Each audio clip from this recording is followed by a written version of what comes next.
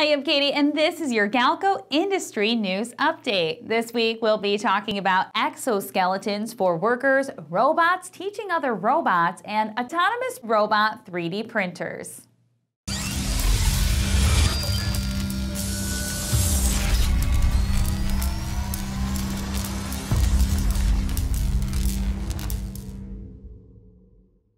The home improvement store Lowe's is outfitting employees with an exoskeleton to help them on the job. The suit was designed by Lowe's internal research facility, the Innovation Labs, and in partnership with Virginia Tech's Assistive Robotics Laboratory.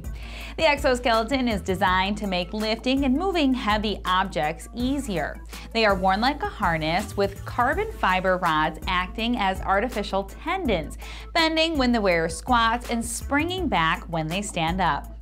Lowe's has issued four of the custom-built suits to employees at a store in Christiansburg, Virginia.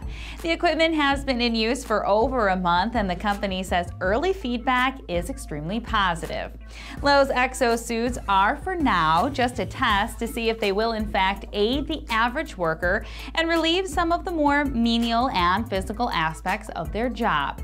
But Lowe's isn't the only company looking to extend or preserve the well-being of its employees using using assistive technology.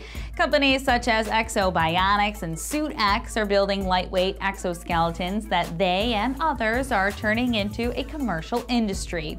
Asian technology firms, including Hyundai and Panasonic, are working on suits to extend the abilities of the human body. In Japan, the need for assistive robotics is partially driven by the country's aging population and a desire to keep people working as efficiently as they can for as long as possible. Researchers at MIT's Computer Science and Artificial Intelligence Lab have figured out a new system that allows non-experts to teach robots how to do simple behaviors, including opening doors and moving things around.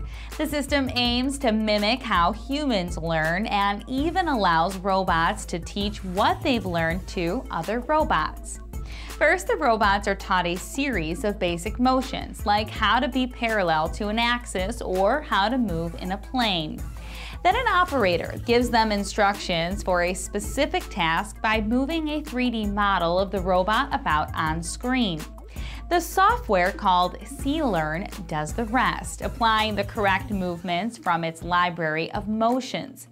Using this method, researchers were able to teach robots to perform tasks with just a single demonstration. The key to the system's success is that it combines demonstration with an existing knowledge base provided prior to training. These result in high degrees of accuracy in accomplishing the demonstrated task, which are then translated to subsequent teaching to other robots. The C-Learn system is far from perfect, but the research is promising and provides an interesting, cost-effective opportunity for how we'll train robots in the future. And could autonomous robot 3D printers help build homes for us on other planets? Well, the MIT team thinks so. MIT's newest 3D printer with long robotic arms and a caterpillar tread is designed to work in the construction sites of the future. MIT's robot has a giant hydraulic arm that moves around on caterpillar treads. On the end of the arm is a one-fingered hand attachment which can move more freely and is responsible for fine motor tasks. It can be fitted with a range of different tools, including a foam insulation gun, a welding attachment, a thermoplastic extruder that squirts out melted plastic, or even a simple bucket. The MIT team stuck a foam insulation gun in the robot's hand and placed the robot in an empty lot in Mountain View, California. Over the next two days, the robot built something similar to an open-topped igloo using expanding foam that sets in just 30 seconds. The final structure was 12 feet high with a diameter of nearly 50 feet.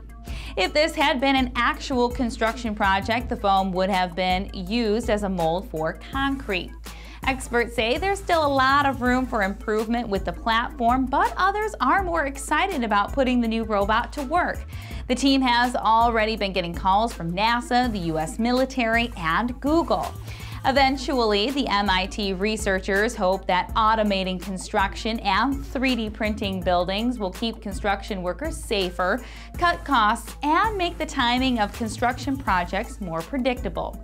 That's it for this week's industry update. Make sure you stay tuned next week for more news in electronics, automation, and robotics.